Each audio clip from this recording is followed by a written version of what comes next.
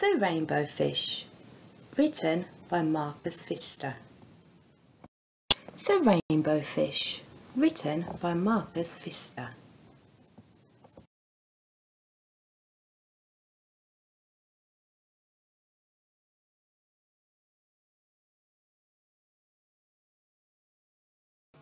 A long way out in the deep blue sea there lived a fish.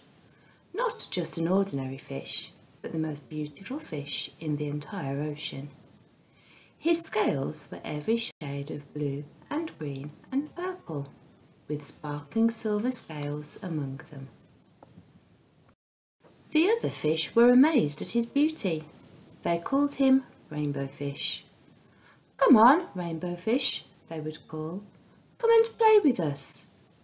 But the rainbow fish would just glide past, proud and silent, letting his scales shimmer. One day, a little blue fish followed after him. Rainbow fish, he called, wait for me.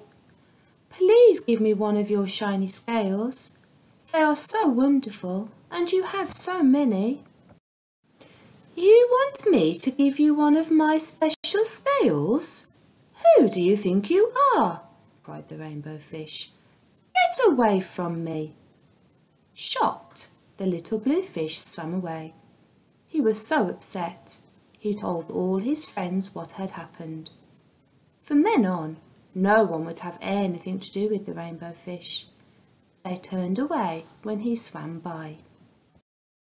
What good were the dazzling, shimmering scales with no one to admire them?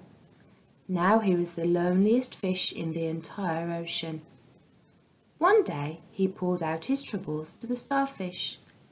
I really am beautiful. Why doesn't anybody like me? I can't answer that for you, said the starfish. But if you go beyond the coral reef to a deep cave, you will find the wise octopus. Maybe she can help you. The rainbow fish found the cave. It was very dark inside and he couldn't see anything. Then suddenly two eyes caught him in their glare and the octopus emerged from the darkness.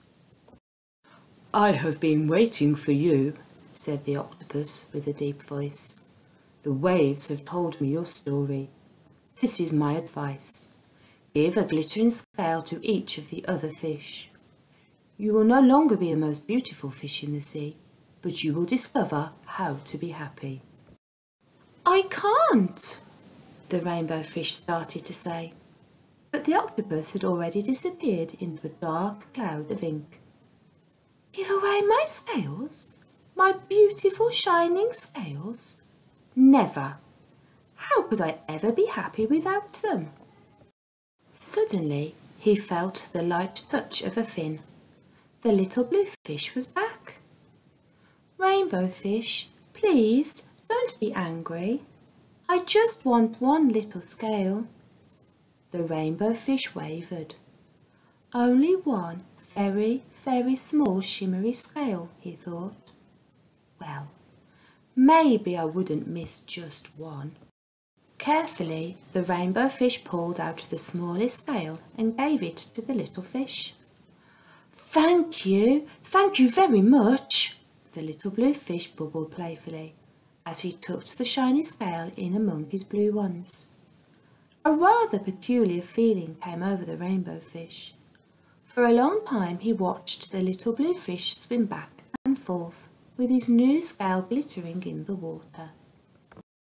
The little blue fish whizzed through the ocean with his scale flashing, so it didn't take long before the rainbow fish was surrounded by the other fish. Everyone wanted a glittering scale. The rainbow fish shared his scales left and right, and the more he gave away, the more delighted he became. When the water around him filled with glimmering scales, he at last felt at home among the other fish. Finally, the rainbow fish had only one shining scale left. His most prized possessions had been given away, yet he was very happy. Come on, rainbow fish, they called. Come and play with us. Here I come, said the rainbow fish, and, happy as a splash, he swam off to join his friends.